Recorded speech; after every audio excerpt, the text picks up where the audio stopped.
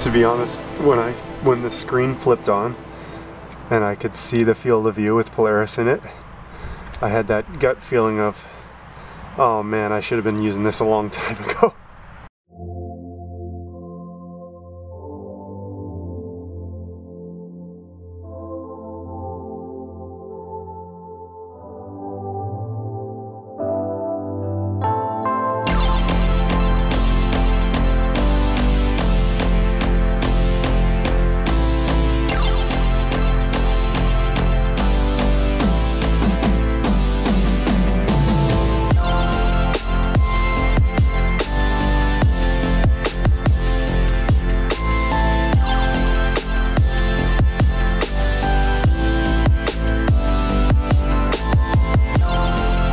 Hi everybody, this is Trevor from astrobackyard.com and in this video I'm going to be reviewing the QHY Polemaster. Now this is an astrophotography device used to get extremely accurate polar alignment. I've been doing this process manually myself for the last eight years and I feel like I've been doing a pretty good job but this takes the polar alignment process to the extreme using the camera on the front of the QHY Polemaster, it gives you a readout of the stars surrounding the North Celestial Pole here in the Northern Hemisphere. And then I'm able to match up a star pattern that it's going to display for me on screen to get the most precise polar alignment possible uh, on a level that I just couldn't do with the naked eye using the uh, illuminated reticle method the way I used to. I've actually got two rigs running tonight. I have the Red Cat 51 and Skyguider Pro up on the deck capturing the Horsehead Nebula in HA. And then down here is the primary rig with the uh, my full deep sky setup and uh, hopefully capturing the Pinwheel Galaxy tonight. Here's a look at the Polemaster attached to the front of my Skywatcher EQ6R Pro telescope mount. So I've got the uh, Skywatcher EQ6 adapter on the front of the mount and then the camera base slides into that using a thumb screw. So I can take it out here. That's what the adapter looks like. And there's the back. And then uh, just fits right in there. And there's a thumb screw at the top to tighten it in. And then plugged into the bottom here is a mini USB cable. I'll unplug it just so you can see what it looks like. I love that it has these locking screws in it so you can't accidentally yank it out. I wish more of my cables had these. So there's the USB, mini USB 2.0 and it connects into the bottom here. Okay, here we are connecting to the Polemaster. I've got the device plugged in, of course, and I'm gonna hit connect. And there we see some stars on the screen. So I'm gonna follow the prompts that it gives me here. Set the parameters to the left makes more stars around Polaris visible. So they're talking about the parameters, so exposure and gain.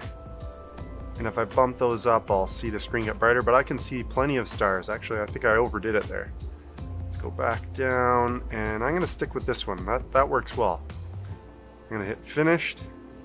Double click Polaris and use the rotate slider on the left to rotate the template. So I'm going to double click Polaris and I see the rotate slider.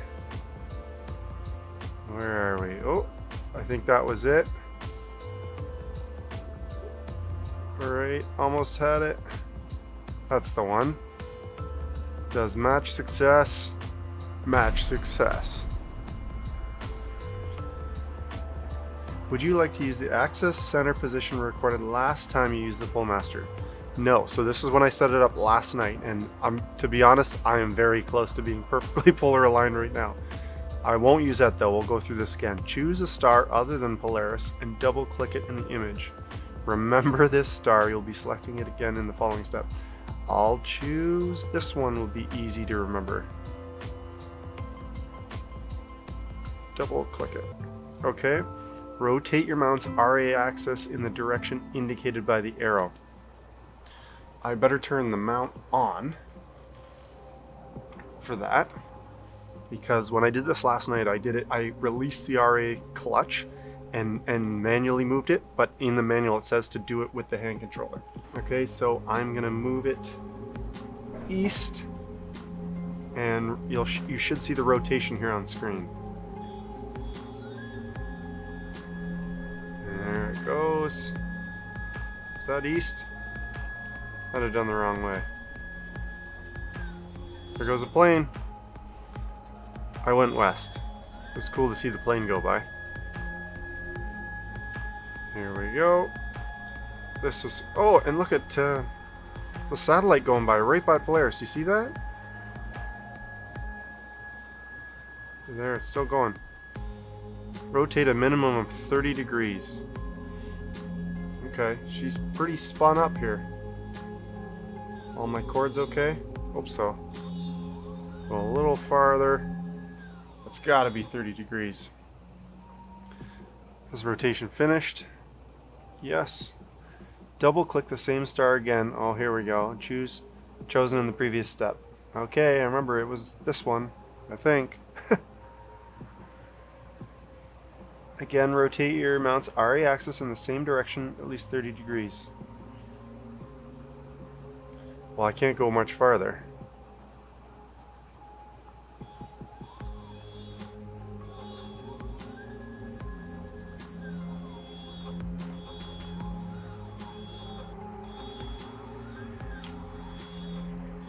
Are you seeing this thing? Oh, can I go any further? Oh,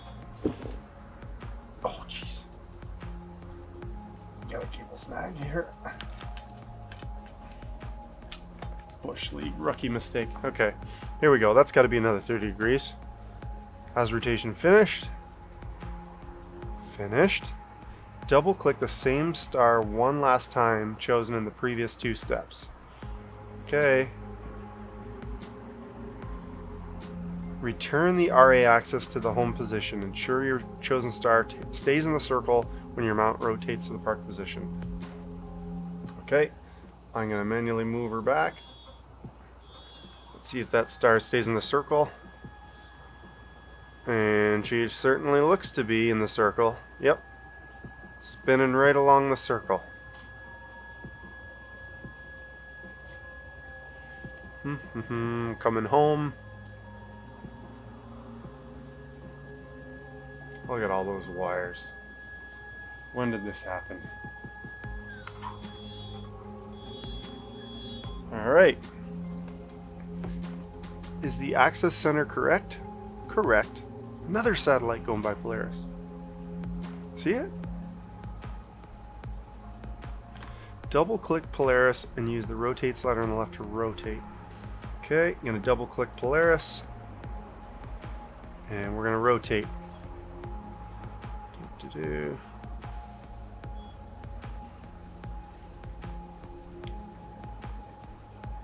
That's the one. Match success.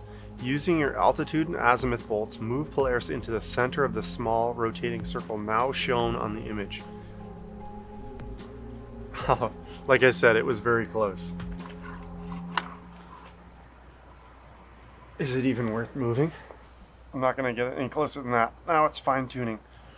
Matched up. Please click the start monitor button. Okay, here we go, home stretch. Use your altitude and azimuth bolts only to move the pole rectangle on top of the axis circle. Wow, okay, so this is talking about right over here. And I remember this from yesterday.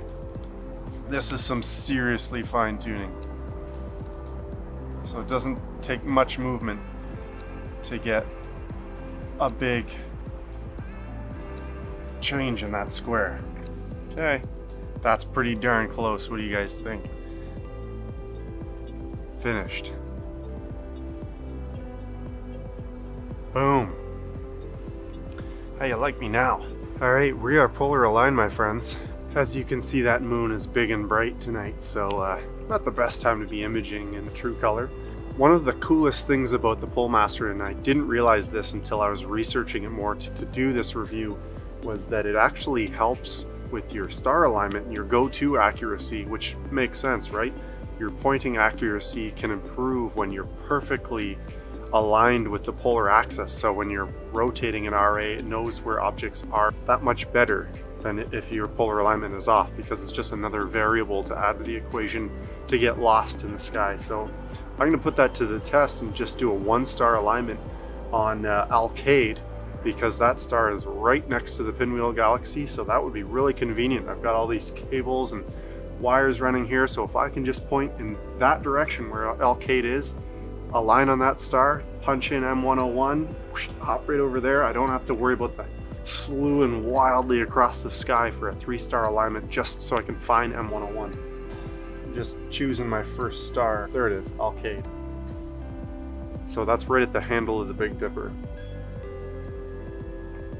So there's the star Alkaid in the center of the frame through the red filter. And I'm going to confirm that. Alignment successful. That's a one star align. And now in real time, we're gonna put this uh, theory to the test that uh, all you need is a one star alignment with the Polemaster. So I'm gonna take the hand controller here, Messier Object 101, and it's gonna slew it and the telescope won't move a whole lot because it's very close to Alkaid, which is the whole idea, very close. That's a thing of beauty. I could get used to this. Because I know this area, I do faintly see the Pinwheel Galaxy right in the center there. It's hard to see in a six seconds exposure in red. I'm gonna bump that up to 12 seconds and see if it appears.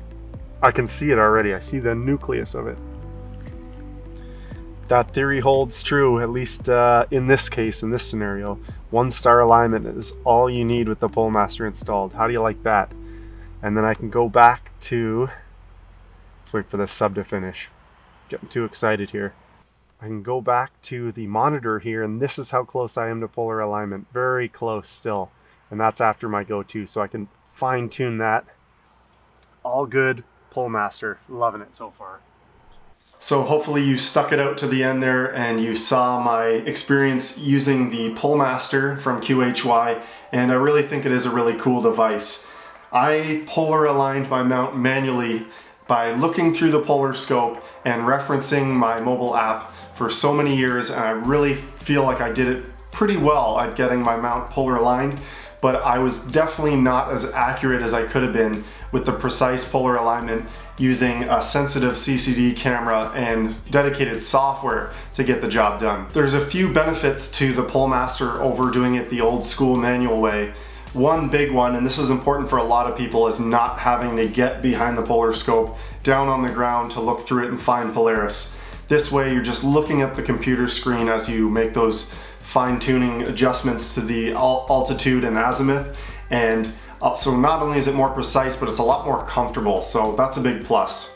You can actually get polar aligned a lot sooner too because you can actually do the process at dusk before your eyes can adapt and see Polaris. You can adjust the settings on the camera, the exposure and the gain to actually pick up the star field at dusk and start polar aligning before your eyes can actually pick up Polaris. Obviously it took me about 10 to 15 minutes on my second run through with the Polemaster and I'm trying to explain things as I go but I really think the whole process wouldn't take a whole lot more than three or four minutes once you get used to it and then you know you're precisely polar aligned. The pointing accuracy of my telescope seemed to improve. You no longer have to do a three star alignment. A one star alignment is all you need because when you accurately align the polar axis of your telescope mount with the North Celestial Pole, it can match the rotation perfectly and then you remove that variable when it's searching around for a star using the GoTo system. All in all, I think it's an incredible little device. I think it's affordable at under $300 for what it does because as you know in astrophotography, polar alignment is so critical. So if you have a little tool that can let you master it like this, I think it's worth its weight in gold. The software was great, it was easy to install, easy to understand. It actually, it walks you through the process. There's a reason that so many people own these things. It's because it works, it makes your life easier, and it lets you get totally precisely polar aligned, and that's so important. And if you guys want to learn more about the Polemaster, you can check out my full article on astrobackyard.com. And until next time, clear skies.